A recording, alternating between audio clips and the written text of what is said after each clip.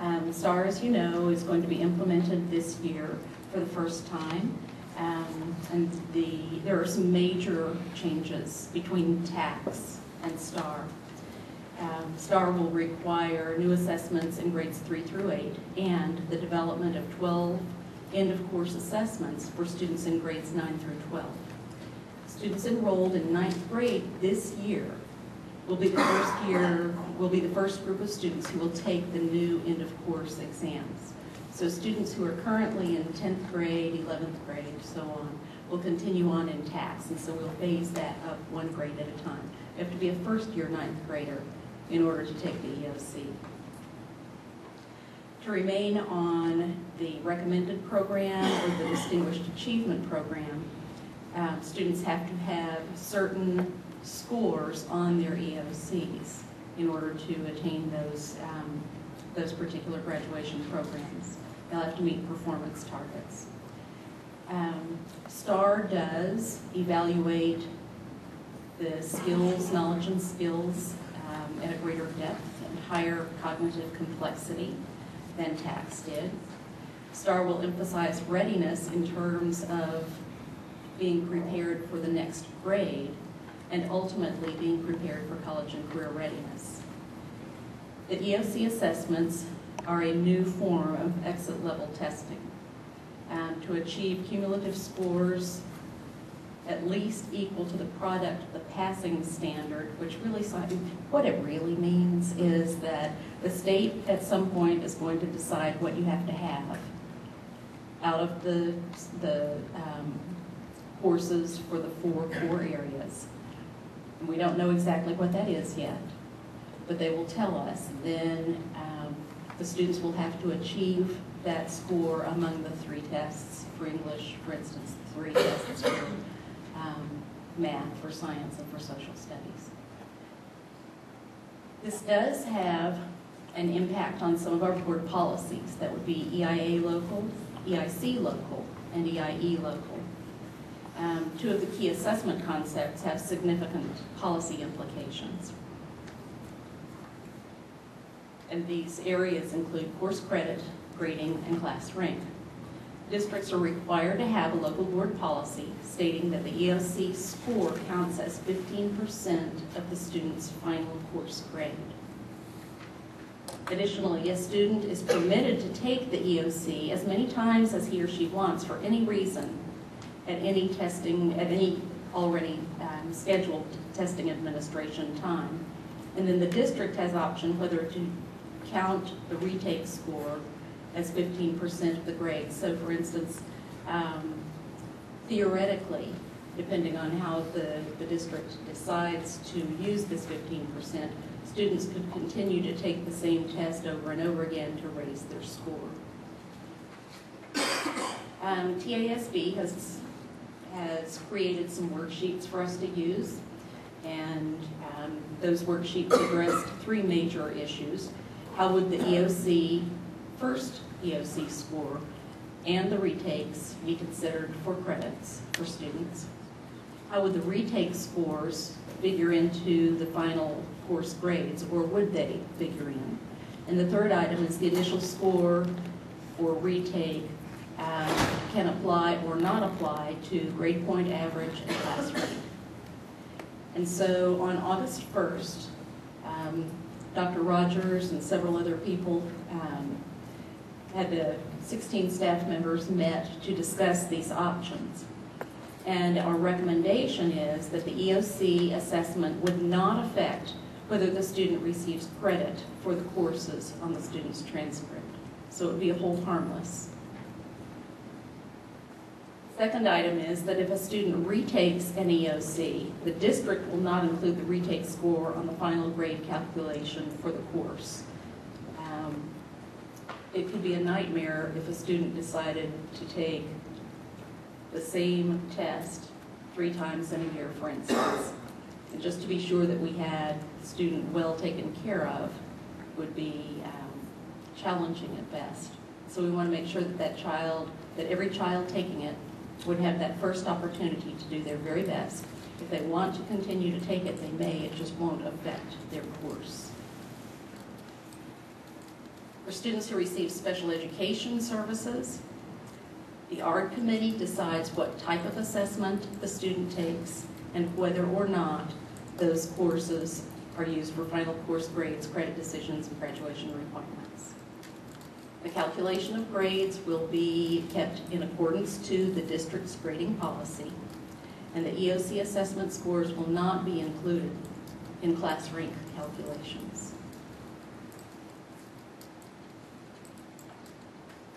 Thank you. Questions? Dr. Hill, I- I've got several questions. Uh, If the ELC will count as fifteen percent of their final grade, is that correct? Yes. At the timing of the test, it- will it be given around the time of finals as we know it now?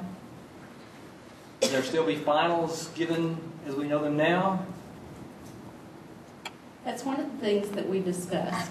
Um, We would like to have made the, the EOC count as the final grade for the course, or the, the final assessment, the end of course assessment. Um, Given that at this point, we'll get our first set of scores after the children have graduated and left, um, we thought it was prudent that for this year alone, that we go ahead and use it the way we're suggesting. Um, Otherwise, we could have kids trying to go into college, junior college courses, whatever, and they still wouldn't know if they had graduated legitimately, um, or if they had been upperclassmen. Um, So we, we just, before our ninth graders get out, we want them to know what their grade is, what their score is, and to have no doubts, because it's hard enough for ninth graders to go in and figure out what ninth grade is all about. But then to have one system that has a complicated moving pieces that are still not discovered, um, completely uh, settled with the state, gives us um, just a very complicated way for students to try to navigate through the beginning of high school. Does that make, does that help? Uh, Kind of, um, you said they're whole harmless, that, that it won't count Or, or against them? or against them, but it is fifteen percent of their final grade, but yet we're going to deduct that out of the uh, calculations for class rank? There are several implications that go with this that are very interesting, and one is the state of Texas has not yet determined how the scale score will be converted to a score that can be combined with the student's course. There are a lot of things that are still left undetermined for us at this point. Yeah. So yes, it's very confusing. Can, can we do that, though? Can we take that out of there? And run it side by side. It was one of the options in the policy Okay. document that TASB sent out. So if they make a sixty-nine in the class and make a fifteen on the, on the fifteen percent, and I just, a lot of, of calcu, a lot of, uh, of problems with calculating grade point averages. Sounds like a nightmare. It is a nightmare. Uh, Mr. McDaniel, uh, first off, our recommendation is that it will not count as part of the GPA. And, and we assign credit by semester, so the final grade will be over there on their transcript, but we assign credit by first semester grade, second semester grade, after you take all their coursework in the semester and their semester exam. So that's what allows us to have this wiggle room until we get through this first year, and then we may, we'll certainly have to come back to you possibly, and I know Dr. Riddell and the committee, I mean, we don't like all the answers that, that, you know, but we really felt like these were the best choices at this time. Are the scores confidential? Yes, in that you can't see other children's scores. Um, Yes, in that we who have the academic need to know have access to them, but we can't reveal other people's scores. Um, And of course, the newspaper will, I'm sure, publish whatever it is that is put out whenever we find out how the ratings went. Summary data. Thank you. I think, I, this is just me, but I'm thinking that the way the STAAR is designed, it looks like it should be easier because it's going to test one grade or so. Whereas rather than before, it's going back and through several years. So, and then, um, I don't know about that end of the course test. That's basically, I think, how teachers are teaching now. I'd like to hear from some of them because I know when I was in there, we did a final and the final counted so much of your grade. And it definitely did count. So I was just wondering if we have anything to fear. The unknown, Yes, ma'am. Until we've, until we've actually had our children take it, that's the, you know, I'm sure everybody is thinking, oh my goodness, what's, what is it going to be? Um, Because we are, as a district, moving to uh, really create that engaging learning that, that fascinates and intrigues students, and it keeps them thinking about the content with their friends before, during, and after school. We have great opportunities to move the depth and the rigor of learning for all students forward in a tremendous way.